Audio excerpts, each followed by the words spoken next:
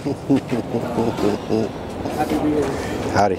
Welcome back, guys. We are doing some testing today, joined by Mario, Chandler behind the camera. We got Vince that's gonna fish with us. Logan's also there too. New fishing friend right there. But today we're gonna be testing out two things. Well, but they're both fishing products. One is the brand new version two. Where is it, Mario? Right over there. Oh, over there. So we're doing some field testing on the Hook2Cook perch pouch, couple changes that we're gonna get into at the end of this video. So after we fish, we'll break down this bad boy right here. There's been a lot of questions, especially since we first released the idea, the concept of this thing. So we have made a bunch of changes and some more changes to come, but at least we get to have you involved in the creation of this thing. A lot of the comments have really helped make this what it is today and it's going to be even better. Definitely promise. But mario is actually going to test it out today. He's going to put it on his belt so that he can store his like catch as Oh. he fishes. So we got that one. We also have the version the first version with us today. So that's the one i'm going to be rocking. Basically uh, it allows you to keep your fish at your side while they're bleeding out in the water and not have it running and rushing around like you would if you just had like a mesh bag or a game clip just dragging around on the on the ground and you can fit quite a bit of perch in here and then the last thing that we're going to test out is these baits are made by our buddy Tui, but they're pretty special. You'll see when we're actually using them on the water. We use these for the More Than Fishing tournament, and one of our qualifying fish, a 14 and a half incher, was caught on this. Please excuse the dry winter hands. But one of the cool things about this bait, it's pretty unique in the sense that it's flat. It's not round and it's just really easy to put on the hook and it has a really nice profile. So we're gonna be throwing that. So hope you guys are excited. Mario, are you excited? I'm excited. Yeah. Hopefully we can get some fish in this bag, test it out, see how it performs in the real situation. So I'm excited. I got it all locked and loaded. At the end of the day, we're gonna be fishing with friends. It's gonna be fun and you guys get to see what we do out here.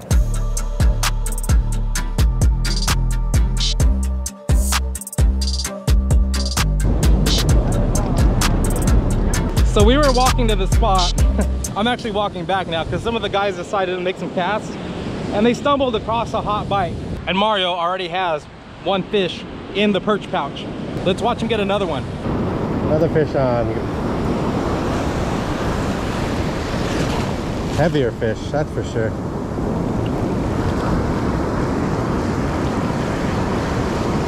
Fire! Oh, come on, wave, don't crash.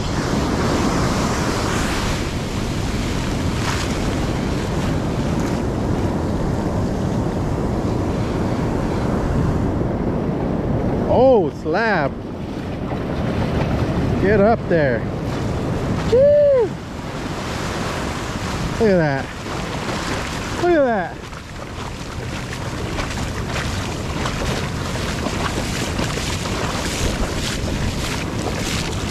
It's gotta be a 15, 16. Oh, baby.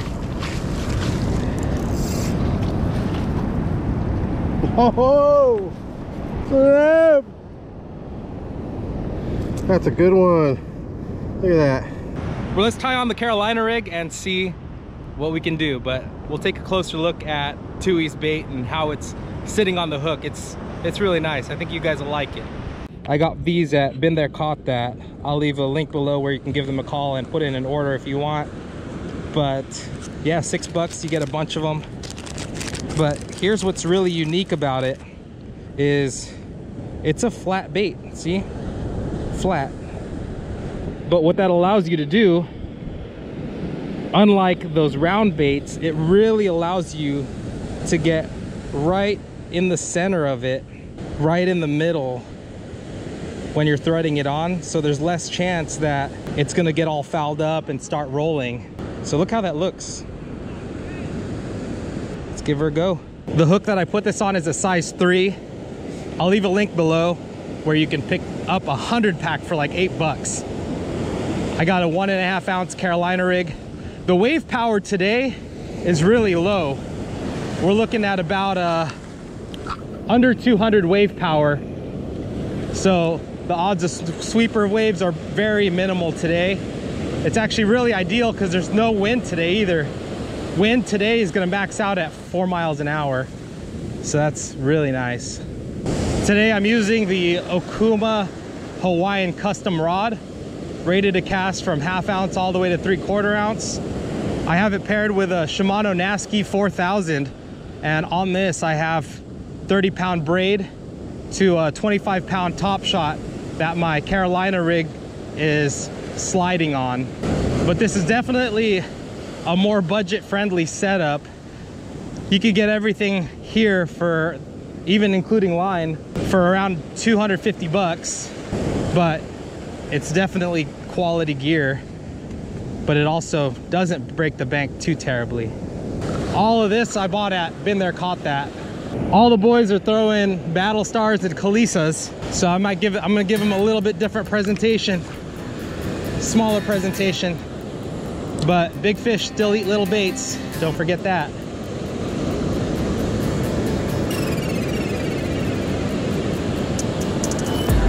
There's a fish.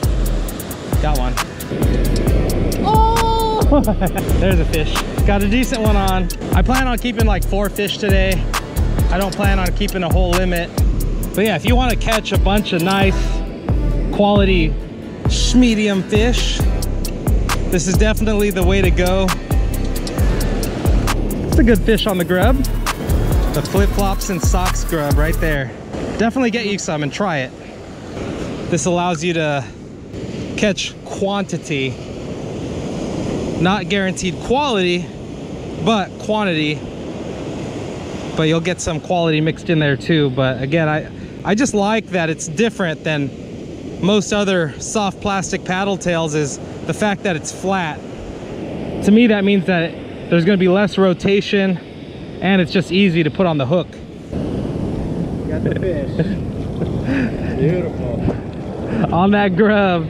Grub. On the grub. Everyone's been nailing the bigger ones though on the You let her go? Or Yeah, I'm gonna let her go, yeah.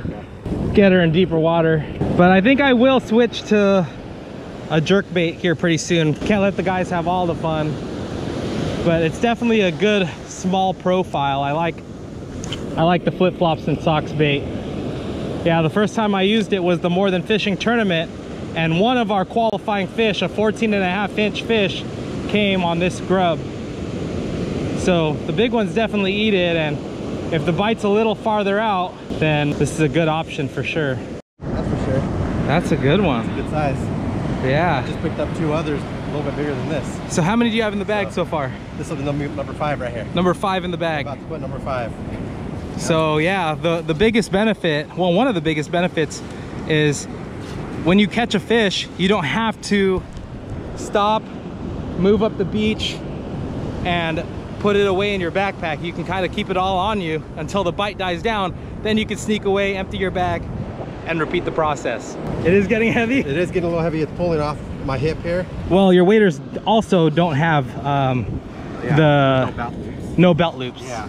Yeah. So It helps to have belt loops, that's for sure. yeah, You might as well empty out. may as well empty it. yeah. I mean, what do you have in there? Six? five, five. Five or six? Yeah. Okay. Get this spot right here, brother. Okay. Hey, you know what time it is? What? What time is it? Battlestar time! I can't catch any more sub sub 13 inch fish. Oh! Yeah! That's so funny. Let's go. this is the new glow white that uh, Vince just released right now. I like the white pattern when it's bright sunshine like this because I feel like sometimes the metallic is just too overwhelming. I do really good on the metallic when it's more cloudy day. There you go, bud.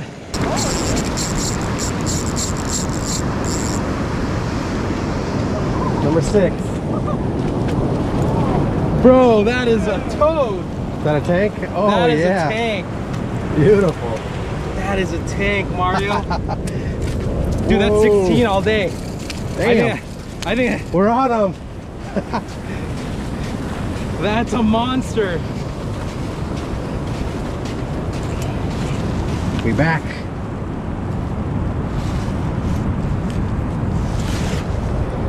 Jeez. Whoa, feels good.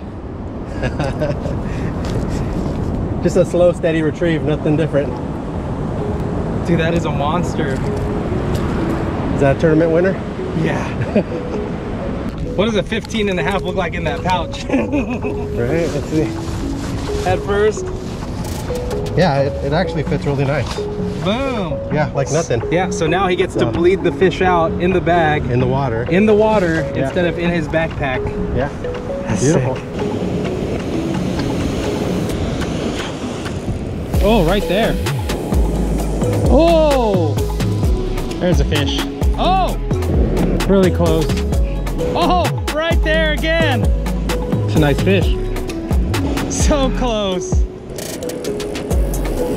See what you've been missing out on while you've been hunting? Know, right? This fish hit so close. I was almost at the end of my retrieve pulling it off.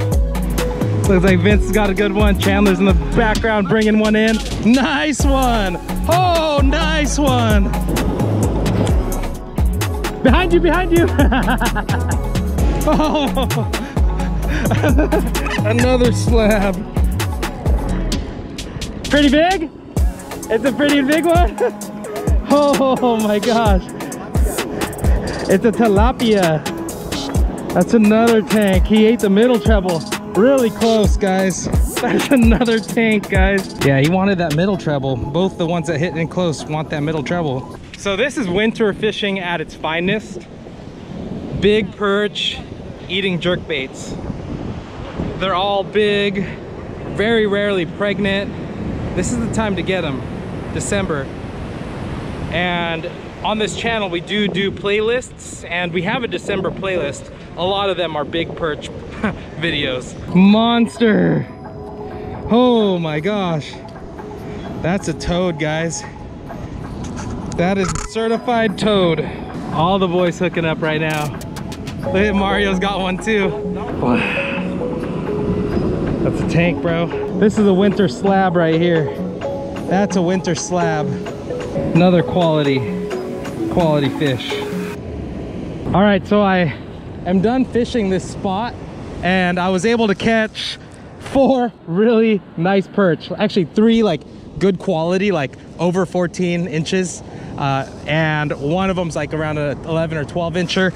They've been bleeding out as I've been fishing, but now it's kind of a little bit of a lull in the action. So now is a good time to stop, empty the bag, and get ready for that next blitz. So this is version one. We started off with these carabiners and uh, they work good, but there's actually a simpler way that we're gonna do it on the final version that'll make it easy to unclip. But just so you know, this is 20 inches from here to here. On the newest version, it's actually 22 inches so that you can measure a halibut. And this tape measure on the first version goes to 15, but we want it to go to 18. Why? Because the legal keeper size striped bass is 18, so it's perfect. You'll be able to measure that. And since the new bag that Mario has on is 22 inches, you can catch a halibut and you'll still be able to make sure that it's a legal keeper halibut. But now I just have to empty all at once, put my catch nice and clean into my backpack. I usually just carry a plastic bag and keep some fish in there, but we've definitely been catching some winter slabs, that's for sure. And they slide out nice and easy, not like a, not like one of those mesh bags, but yeah, look at these, look at these monsters. Those are both like 14, 14 and a half inch barred surf perch right there. But yeah, so those are a few of the changes on the perch pouch just as an update. But we're working on it again. Keep an eye out, first quarter of 2023. We're gonna make some some changes, but it'll be really easy to use. Just like that. I was able to fish the hole nice and easy. and effectively. I didn't have to stop every time I caught a fish. I didn't have to come up the beach, take my backpack off, do all that. And then once the blitz slows down, come back to the beach, put them in your bag, and you're good to go. So, how was your day? We rocked it today, guys. Pulled the limit today, mainly slabs. It's actually, I don't know what, five or six, 14 plus, and then a couple of smaller 12s, 13s, but overall good day. Um, as far as the perch pouch, I really think that that's gonna be uh, very helpful in the surf, especially like if you're on a hole where you're pulling out, you know, every other cast you're bringing a fish in, a keeper, you can just put them right in the bag, and then once you're done, get tired, whatever, walk up to the beach, put them all back into your backpack or whatever, and then uh, continue walking down the road. But overall, it was a really good experience. I'm happy with it.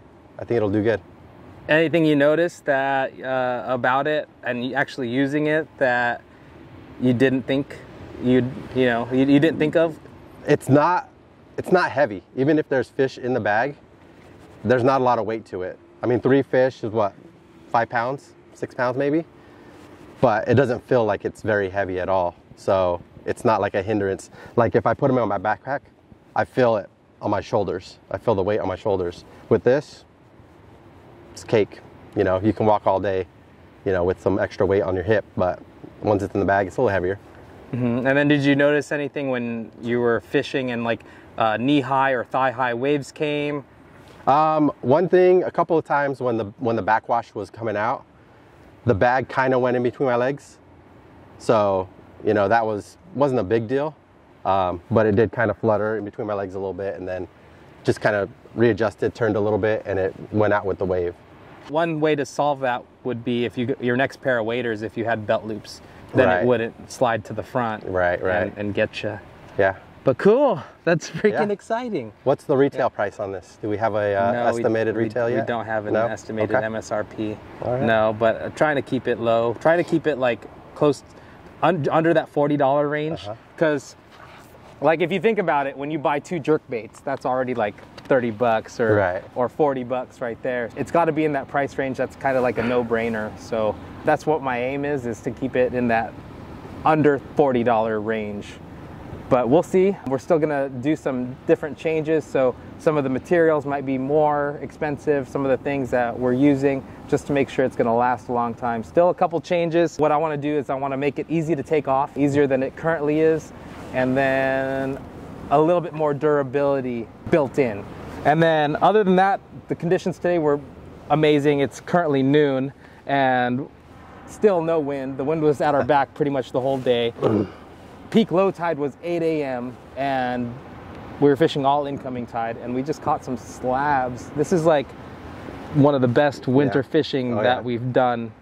Like two years ago, it was really, really good when, when we went out, and this was kind of like a reliving that. So, one tip is on surfforecast.com, the wave power was really low. So, we went out to a beach that's totally unprotected mm-hmm. just knowing that if you go to a more protected beach, it would be like a lake and it'd be non-existent, a non-existent bite, most likely. And then in terms of flip-flops and socks, baits, if you guys like Carolina rigging, that's your thing. It's a good bait to have. Give them a try. You can order them at beentherecaughtthat.com or visit the store or give them a call. But with that being said, thanks for joining. If you have any questions, leave it below. But speaking of two winters ago, I'm gonna leave a video right here of when Mario and I Yeah. Sleigh fests. Mm. It was great. still on the Calissa too. It was still on the Calissa. Those were the days. Welcome back. It might be coming back. Yeah, it might be coming back.